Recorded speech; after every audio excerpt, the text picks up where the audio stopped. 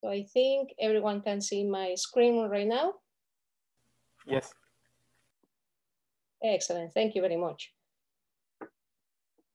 Okay, so uh, the methodology behind this uh, panel discussion is will be uh, three questions uh, that I will perform to our speakers. They will have time to answer them. And then I will allow to the, to the participants to enjoy and, and also to, to perform their questions and comments behind all these uh, opinion that they have around these uh, talks. So uh, if that is okay, I don't see, um, Jackson, are you there? Ah, yes. yes I'm. Uh, yes, I don't see uh, Tessa also. Ah, okay, excellent. Thank you very much. So the first question that I would like to point out in this uh, panel discussion is uh, in regards to gravity behave like general relativity, even at horizon size scales, and if there is a necessity for modifying gravity. So if that is okay, uh, we can start with uh, Tessa's opinion. Uh, sure. Uh, so uh, when Celia sent us this, this, list of questions earlier today, I, I, looked at them all and thought, oh Lord, because they are all very big questions that of course, um, you know, we don't have an answer to, right? So, so I don't have complete answers to any of these questions. Um, uh, so what is this? What is this question asking? Uh, you know, is the do we do we need modified gravity? Uh, and this ultimately boils down to to a matter of preference about how uh, far you're prepared to explore, I guess, in order to, to solve the cosmological constant problem, right? And I think there is a danger that uh, we, the cosmological, this cosmic acceleration has been with us for quite some time now that I think we become desensitized to it. Um, particularly people who are, in some sense, growing up, entering the field uh, in, in the past uh, 20 years. And so I, you know, people do sometimes wave their hands and say, give up on modified gravity. It's clearly just a cosmological constant. But I think that's forgetting the magnitude of the problem we're trying to solve here. So um, I think there is still uh, a lot to explore in extensions of GR. And if we were to give up on that, then when we do have to bounce the problem back to high energy physics, back to string theorists or, or, or other ideas. And until another idea emerges from that direction, I think this is one of the best avenues to explore with what we know right now.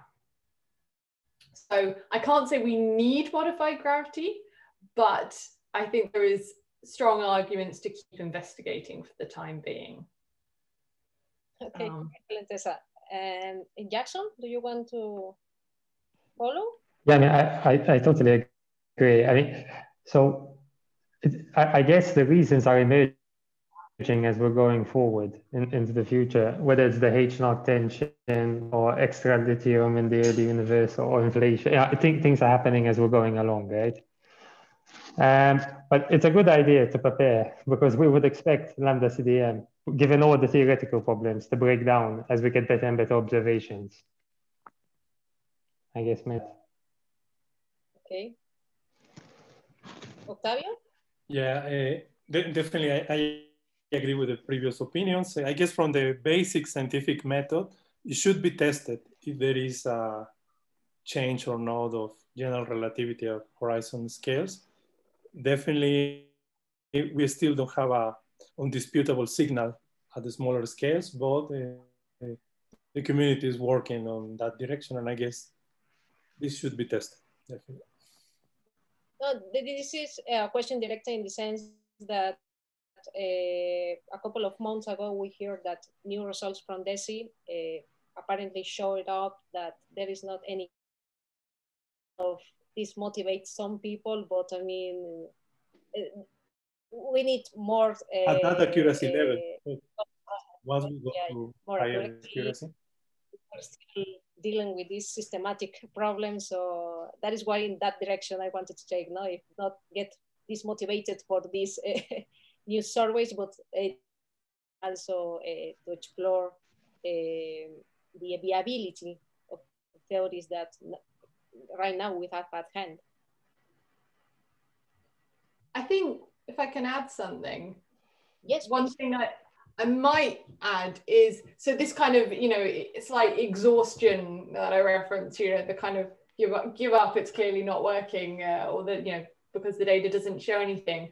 I think perhaps what that does point us to is that we are, um, to, to, use an expression, barking up the wrong tree, uh, we would say here in the UK. So, so we're the kinds of, I think perhaps we have almost reached the end of the road for the kinds of theories that we are testing now. In the sense that when cosmic acceleration was discovered, we did the very sensible thing, which is that we used all the field theory we knew from particle physics and we started coupling in um, scalars and vectors and, and tensors. Now, there are other things like the kinds of things Jackson presented, but you know that is still a large part of the literature at the moment is coupling fields to, to GR.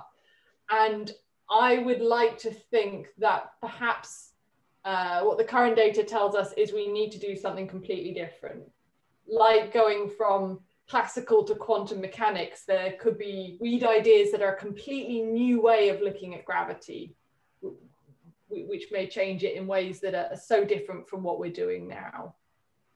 Yeah, that is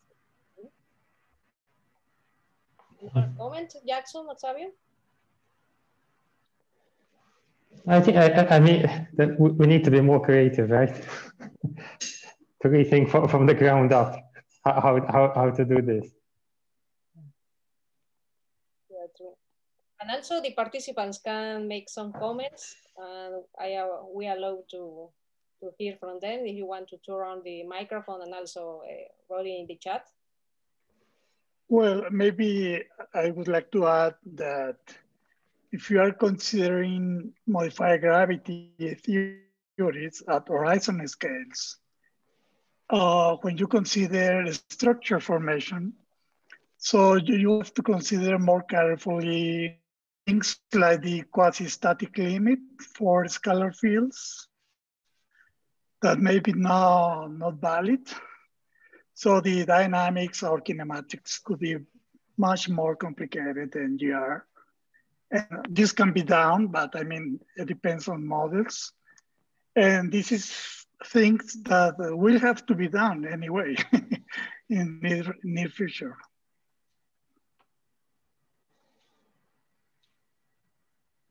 Yeah, in that in that in that part, I mean, uh, it, it, should, it, it is uh, still uh, interesting to, to explore another kind of theories. For example, another is linked to, to the, kinematics is uh, the cosmography. Cosmography is an scenario where it's usually very helpful at high redshift and also apart from uh, remaining this background of modified the theory as Jackson showed us uh, via the Lovelock theorem and also cosmography between uh, using to having a, at hand uh, series that can help us to, to explore this uh, large range. Also, it can be uh, a possibility and viability uh, in this zoo of variety of, of gravities.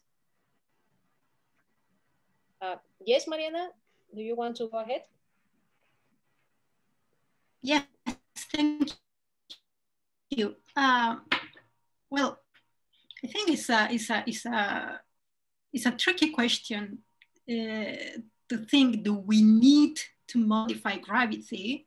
And uh, I was thinking about what the Professor Baker said, Baker said uh, that we are so built into the idea of a cosmological principle that maybe we are going beyond general relativity instead of looking at general relativity, but maybe thinking on different ways of uh, describing the, the metric of, of the universe. And in the light of all these tensions that are growing and growing and growing, um, is a very interesting question to revisit how all of the cosmological uh, results are fixed to this particular assumption.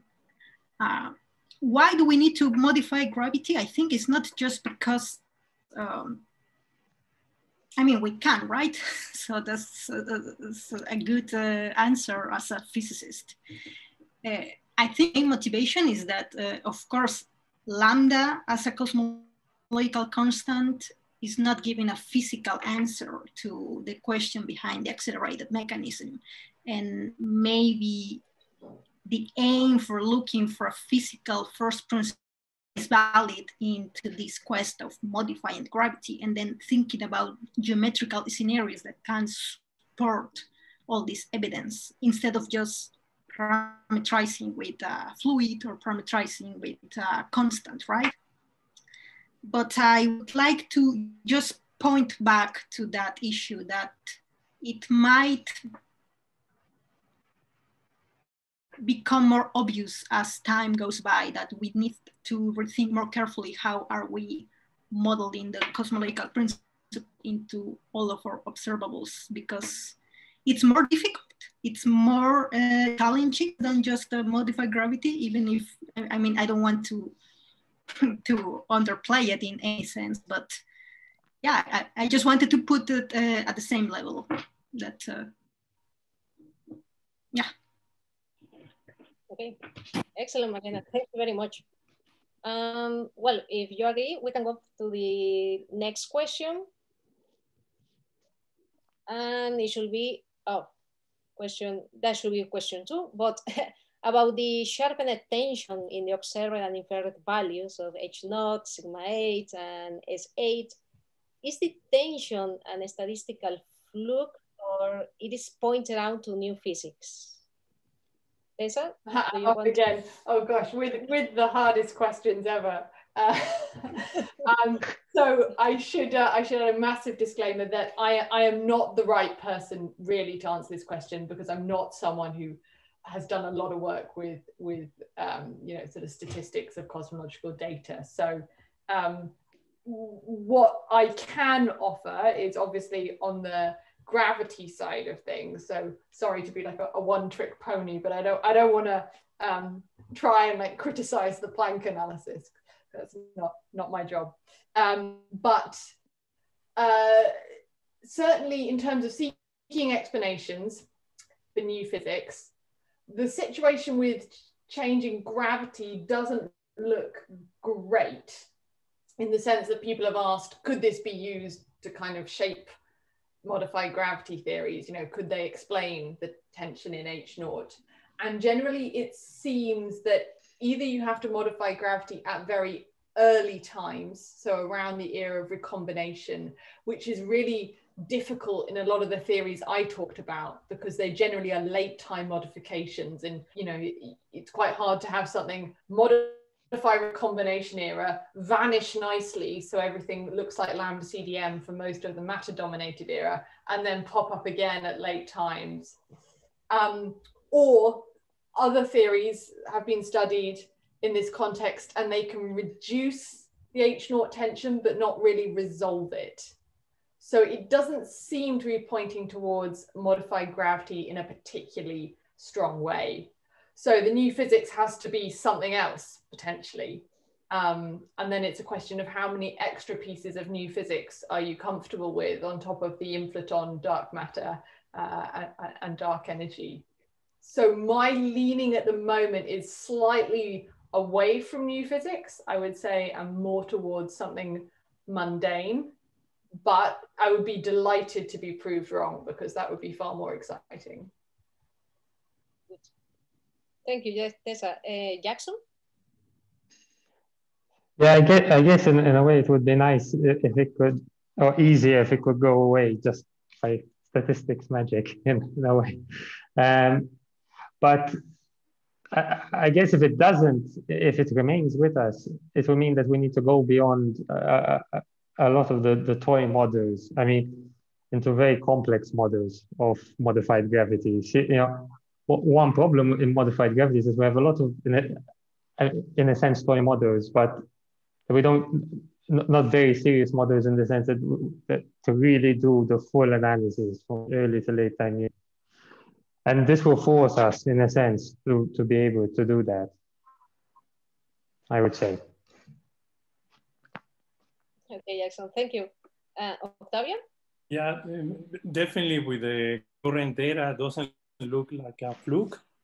Uh, people have tried to investigate if any systematic could be. Apparently looks robust. So, so it would be definitely great that is uh, new physics, uh, either gravity or other components. Uh, I guess in the very likely in the next five, 10 years, because we'll have a lot of more data.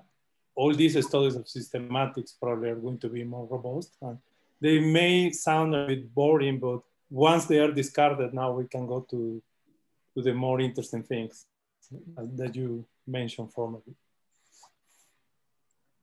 Okay, thank you. Um, if the participants have another uh, comment, question that you want to apport to this uh, inquiry, think this is a difficult question for all of us. we have a lot of work to do. okay, if not, uh, let me go to the last question of the day. I know that this is very, very broad in the sense that, okay, so, but I would really like, uh, and probably all the participants will like to know about uh, which will be the future. I mean, and we are already living this in the near future for the cosmology. Do you want to go ahead? Sure. Um, so I think there's one very obvious answer here, which is gravitational waves, right? Uh, in the sense that we have uh, 11 events in the public domain, and as I said, another 56 sort of in, in some partial state of release. So it's early days, it's still low number statistics, what we, we can do at the moment. But that even the, these tens of events have really got people thinking. And I'm sure no one here can have failed to notice, at least on, on if you're on the right arXiv um, subscriptions, the number of people now writing papers on, on gravitational waves, and I would include, you know, myself in that, who, who previously weren't, um, it, I mean, it's gone through the roof, and there's a lot of new ideas coming about. Um, so, you know, previously, I think the focus of the gravitational wave community was really on, on finding sources and modeling sources, because obviously that's what you need to get the first detections. And now that's here, I think everyone else is coming up with ideas. You know, we have things like the mass gap, new ideas to break the mass redshift degeneracy, new things to use these events for, for cosmology and test of fundamental physics. So I think that's certainly going to continue for the near future. And probably what we'll find is all these theoretical ideas that are being generated right now, some of them will, will really become the tools of the future, and some of them will turn out to be, you know, kind of nice idea in principle, but actually, it, you know, it's hard to measure. So some of them will fall by the wayside. But I think a few key new probes will emerge from that. On the EM side, um, obviously the, the near future is rest of DESI, uh, which we're getting results from already. And also in the next, you know, less than five years, we have Euclid and Vera Rubin set to release their first results. And I think a lot could depend on, on what they find. So if they come back with, um, was it, who was it who called it, the, was it Licia Verde who called it the maximally boring universe? Right, you know, yeah, that was the, yeah. if they come back with that, then oh, well, sadly, not much, not much changes. But if they come back with more statistical tensions or more statistical flukes, then then it's really getting to a level where people are gonna kind of keep pushing, I think, on these these tensions. Yeah. Well, also uh, apart from that, there is uh, this Einstein telescope that maybe offer another uh, point of view about uh, this modified gravity. I hope that we can give you a hint in that direction as well. Mm -hmm. Yeah, I, I personally would find that a slightly depressing future. By the time, so the Einstein telescope is due for construction around 2034, right? So if in 2035, first year of Einstein telescope data, we're still um, on the H naught tension, That's possible, but I hope we're not. I hopefully that as well. But if not, our students will have more work in that regards. Jackson, do you want to yeah. say something? I hope we'll have moved on by then. Uh, well, yeah, I mean, it depends. It usually depends on what the, as Tessa said, it depends on what the surveys, what comes out of the surveys. I mean, who, who knows what's going to happen on that side? I mean, there's not, I guess from the theory side, there's been a, an exhaustive amount of work, and now it's about really like getting into more precision data. And I guess it depends on what comes out of the, these new surveys in the future. Not, not so much in terms of predictions. Well, you can make a, a commercial with the extended theories, and then we can get more to this dark side. and Octavio? Yeah, de definitely, I, I agree. Those things that were mentioned about gravitational waves, we are expecting about what the new generation of surveys will obtain. I hope it's going to be very interesting. I wonder actually, instead of an answer, I don't know if someone in the audience know about which are the future of experiments, for example. Uh, is there any hope for something for increase uh, uh, someone told me recently that from the apparently something very independent like computational technology like quantum computing you need to have a very controlled system. technology is improving in that direction is that can that have an effect on detection of fields or particles beyond of the current techniques i don't have an idea no but i don't know if someone in the audience have any expertise well, I think uh, Jorge maybe can give you some uh, comments in that regards. Well, uh, no, uh, but I agree with with the previous opinions. Um, I would add that the cross correlation analysis of the different data sets will help a lot and it will increase also with CMB, new CMB probes that will come in the near future, will also help to, to discriminate among models. And uh, that would be very exciting to see in the, in, in the near future. I was meaning uh, uh, also uh, cross correlation of different tracers in of structure formation. With uh, Octavio mentioned that in his talk, uh, considering different tracers, uh, different type of, types of galaxies, and, and, and cross-correlate this information, also with the CMB.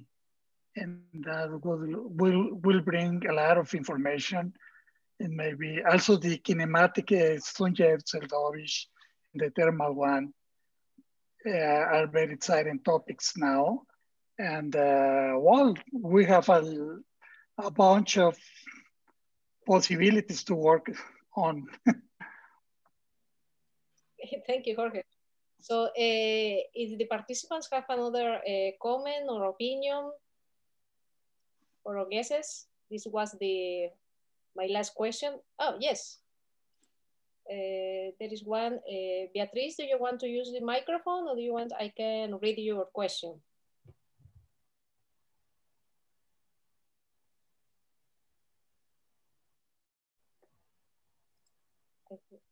Oh, okay, I will read it. uh, uh, Beatriz Miroslava asked, it is worth now the cost of precision cosmology compared to our understanding of the information we are getting?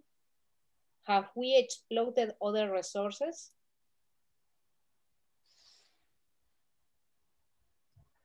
So other resources, now I wonder what's, what's, what you mean by that, Beatrice. So one other resource I could think of is things like laboratory tests of dark energy, um, which have been something that's kind of appeared over the past 10 years. So there's various tests of the chameleon screening mechanism that have been proposed can be done, well, are being done, in fact, in, in a couple of labs. Uh, and there's also tests of axions the fundamental scalar field, which which couples to electromagnetism, and so there's various um, various experiments that can be done there. So those are obviously much much cheaper than than launching satellites, and they are um, being exploited um, to great effect for those theories. I think the problem with those tests is that they're quite specific to a small number of of models, uh, and so they're not as powerful and not as generic as as other cosmological cosmological probes. Um, maybe there are more things like that to come. I I, I couldn't say. Okay, um, Jackson, take it, Tessa. Yeah, I'm not sure what other resources. I mean, hopefully, yeah, hopefully there'll be more resources. There'll be more innovative or novel tests, which maybe can be cheaper or maybe can be done in a different way, rather than doing the same thing but more precisely. It, it depends, I guess. What, what besides, I mean, tabletop experiments are, are one very good example. Okay, thanks, Jason. Uh, yeah, from the point of view, if it is worth, I guess uh, as long as questions and things that we don't understand are coming out, I guess is is working. But definitely the strategy uh, doing uh, pushing those uh, laboratory tests that Tessa mentioned and maybe other ones that I don't know could be very interesting. Have a broad uh, strategy. we may have a surprise. Yeah, I agree. Um, another participant that wants to make a comment or question before we uh, close this uh, panel discussion? Ah, yes, uh, Cesar, go ahead. Uh, thank you, Celia. Um, I'm not a, I'm not an expert in cosmology and much less in observations, but I, I always wonder. You always say about things about modifying gravity or uh, or the theories we have, but can, can, can some of the participants mention what are, what are the assumptions in the observations data? Say you are assuming a homogeneous background where light is propagating, or, or, or what are the assumptions you, you take into account to, to interpret the data get into, into all these detectors? kind of the, the most the more the most basic assumptions basically very roughly okay tessa do you want to well this is probably more a question for octavio than than for me but I, I guess even most of them assume uh, uh, homogeneity and isotropy right uh, at the background level uh, uh, of course um, so people have, uh, as I think was referred to earlier, looked at, you know, inhomogeneous cosmologies. Do we live at the center of a giant void? Um, does structural formation itself cause the acceleration of the universe? So those things have been explored in the past 10, 15 years, but the answer always seems to be that it's not a big enough effect to explain the observations uh, that we make. So most of the models we build now assume that. Um, some, most but not all assume um, Lorentz invariance. Um, a lot of the more, more recent modified gravity models even sometimes assume a lambda CDM like background uh, and, and fit that and then really kind of put all their interesting physics in modified dynamics of perturbations um, rather than on expansion history. Uh, most assume uh, no coupling to electromagnetism, although again, there are a few, few examples that do strange things there. I'm not sure what else to add to that list, so maybe another one of the panelists can, can take it from there. Yeah, maybe waiting mm. to have more information about gravitational waves. I mean, we are, as you mentioned, we only have at hand one measure in that regards and uh, well also we are capable to do some forecasts but at the end i think we are limited by this uh, capability not to, to have uh, more tools to go ahead uh, jackson do you want to go early days, I guess, on that point. um, well, I, I, think the point about assuming lambda CDM in something, because now the case is that it is, it is a combination where lambda CDM plays a small or plays well, sometimes a big role, right? Um, but yeah, I don't know if there's any more assumptions to add. Sometimes there's, there's some simplifying theoretical assumptions, but then it's model dependent. Yeah, well, so my question is more like, uh, it, it seems that, that the natural question that has been asked in this panel is, uh, is it worth modifying gravity? Uh, but is it not equivalent saying, say, to, to, to consider or revisit the assumptions you make in the data acquisition and, and, and data interpretation, uh, if not simultaneously, instead of modifying gravity? So uh, when in my previous answer, I guess I, I, was talking about really sort of basic fundamental assumptions.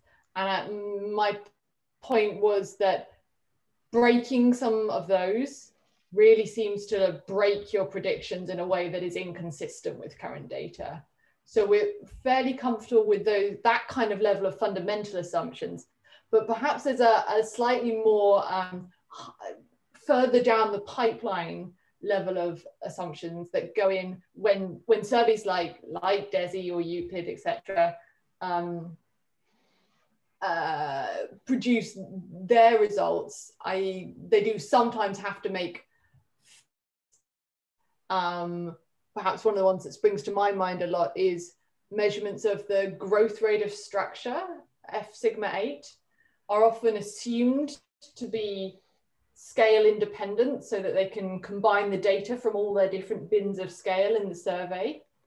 Um, uh, and, and that's, that's oversimplification that we would rather not do if we want to test uh, more general ideas. But my understanding is that it's something that's done uh, as an observational requirement to get a good result because otherwise you're you know you dilute your data to the extent that that it becomes unconstrained uh, and I think that's often a, a, a, general reason for doing those things. If you try to do a really general analysis, you may end up with not really an answer at all.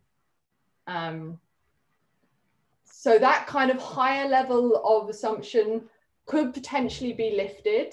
Um, if if we really are in have so much data that it's not a, a problem to do so. Octavio, do you have a comment? Yeah, this is important. People tried actually in eBOSS to see they detect some scale dependence, but the data is not good enough. They, they didn't have a signal.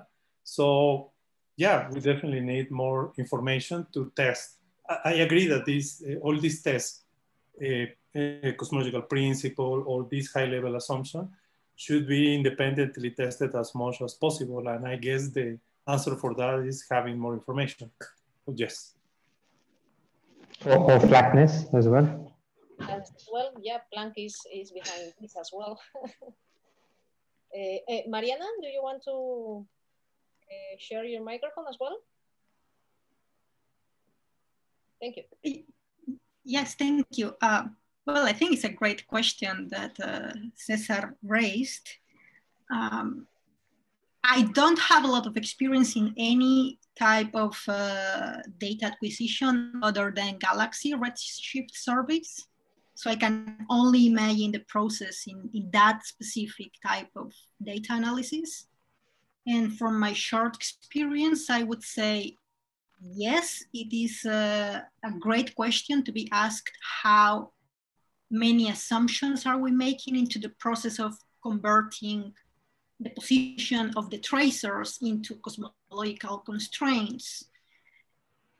But there are many steps that you have to be taking care of, uh, many of them that were explained by uh, Octavio, for instance, not only the Alcock-Paczynski parameters that say, oh, this galaxy, I looked some redshift and then how do I know what distance it is from me? Okay, this depends on the on the on the cosmology.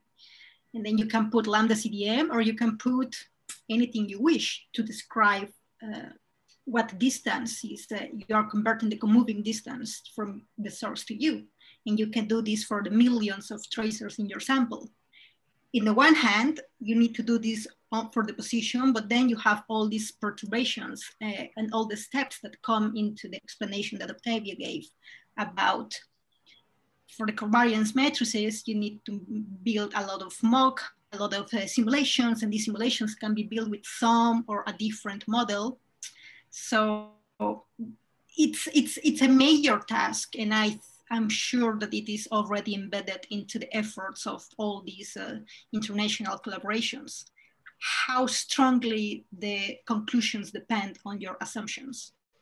In my way of viewing, there's always six cosmological assumptions. Uh, but the, the base, the, the, most important ones would be assuming some dark matter particle in the way we, we, we talk about cosmologically, not like physical uh, particle physicists, the cosmological constant or some other model that it has been uh, tested in the experiments like eBOSS, uh, even DESI and Euclid in the future are thinking about uh, different ways of modeling this uh, term because it's the easiest way to model anyways.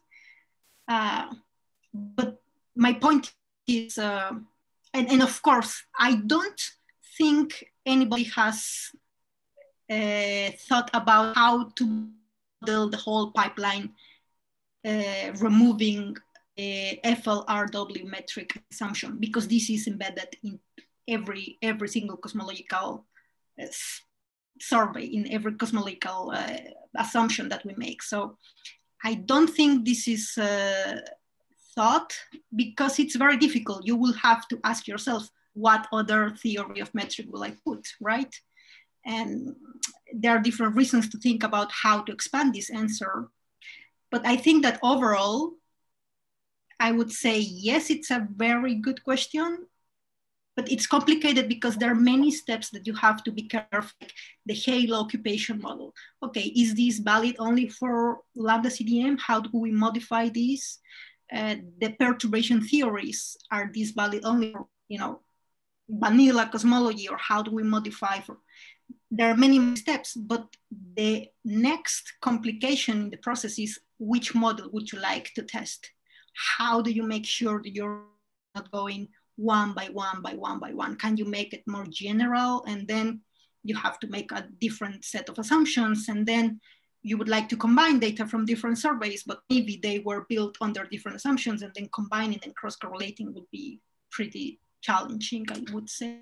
I think it's a concern for all the community because all these efforts are being built and most of the data are being interpreted within the framework. And then we want to use it to test whether the cosmological model is this or that. So it's it's it's a very good question, I would say. In the sense that also it's kind of complicated to, to talk about that general uh, scenario. Most must be should be I think the, the word uh, it can be generic in a way.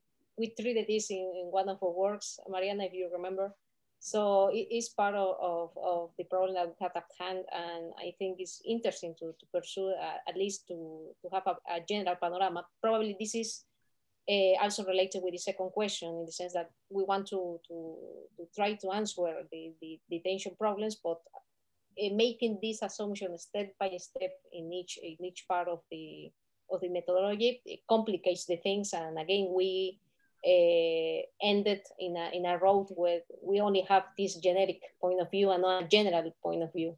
So maybe in that part uh, is also interesting to, to discuss and also try to another, uh, I know, another form, another path to attack these, these, these problems that inherent in the precision cosmology as well.